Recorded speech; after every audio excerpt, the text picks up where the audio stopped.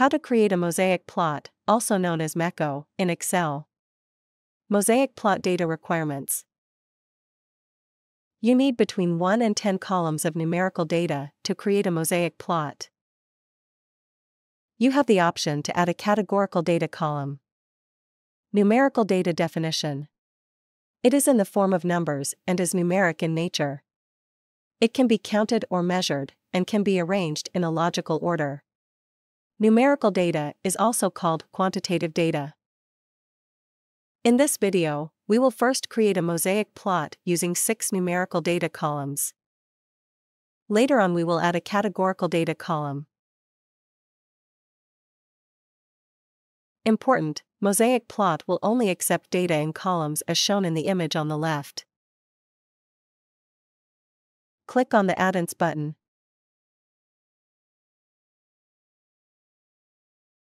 Install ChartExpo add-in, enhance your charting experience with advanced charts. An add-in is software that adds new features into Microsoft Excel and Office 365. How to install ChartExpo video is available in iCard, located in top right corner.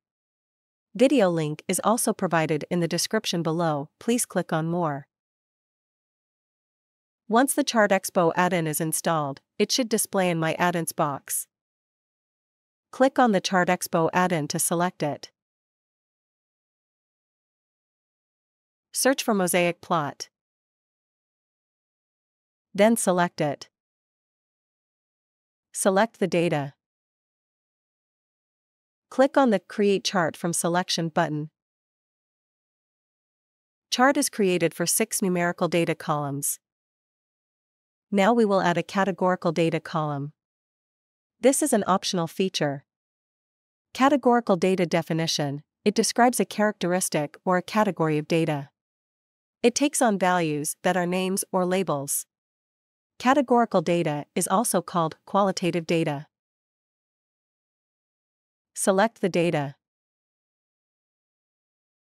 Click on the Create Chart from Selection button.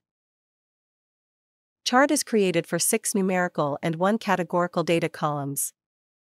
Click on the Edit Chart button. Click on the chart header pen to edit the properties.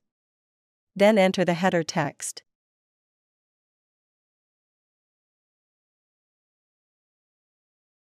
Click on the Apply button. Similarly, you can change the axis left label and chart footer label. Click on the Chart Label Properties pen to edit the properties. Click on the Label section. You can show or hide label total. You can show or hide grand total. You can show or hide percentage. You can prepend dollar as a prefix to the label numbers. Now we are going to introduce some applied chart properties. Label total. Prepend dollar as a prefix. Grand total. Percentages. Click on the Chart Label Properties pen to edit the properties. Click on the Label section. You can show or hide label. You can prepend dollar as a prefix to the chart bar labels.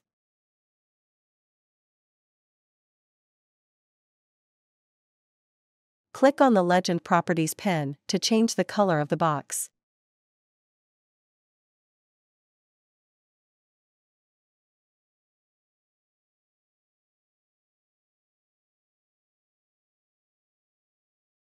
You can change the color of all boxes. Click on the Save Changes button. Click on the Export Chart button to export chart in JPG, PNG, SVG, or PDF.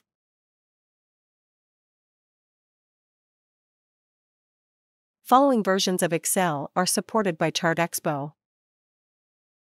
We appreciate your business, thank you. Please remember to subscribe to our channel.